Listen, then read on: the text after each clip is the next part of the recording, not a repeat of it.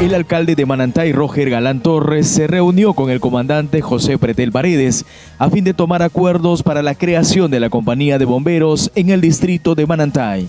Para ello se formará un comité de ciudadanos que evalúen, dando fe a la necesidad de la creación debido al alto índice de incendios frecuentes en Manantay.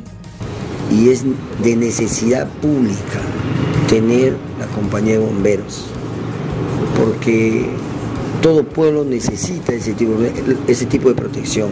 Nosotros estamos desde ya, eh, nos ha dado las pautas el comandante de cómo iniciar, eh, dar los primeros pasos para la creación de nuestro bombero. Vamos a hacer un cronograma, eh, vamos a invitar a muchas personas marantaínos a sumarse, se puede decir, a este reto que tenemos y que estamos seguros que es un trabajo conjunto con nuestra compañía de bomberos, con nuestro comandante y sus integrantes, lo vamos a lograr. Vamos a decirlo así, mi comandante hoy ya se ha puesto la primera piedra.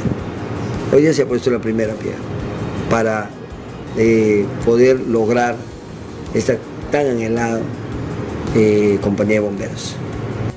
El comandante de los bomberos agradeció la voluntad del alcalde Roger Galán Torres e hizo un llamado a la población manantaína a ser partícipe de este comité de creación de los bomberos. También invitó a los jóvenes de Manantay a formar parte de la compañía de bomberos voluntarios. Bueno, hay diversas eh, tareas aún por realizar. Esto parte con la buena voluntad política, pero aún tenemos que constituir el comité de creación de la compañía de bomberos de Manantay, que es un comité eh, conformado por ciudadanos quienes eh, evalúan y hacen referencia de la necesidad técnica de la compañía de bomberos.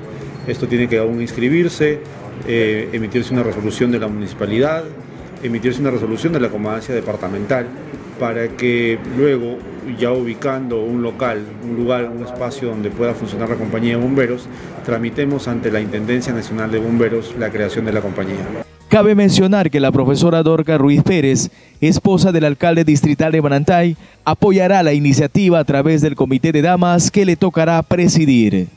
Por su parte, el alcalde manantaíno mencionó que es necesidad pública contar con la compañía de bomberos en Manantay para proteger a nuestros ciudadanos de posibles incendios. Asimismo, indicó que cumplirá con las gestiones para lograr los requisitos de la tan anhelada compañía de bomberos en el distrito de Manantay.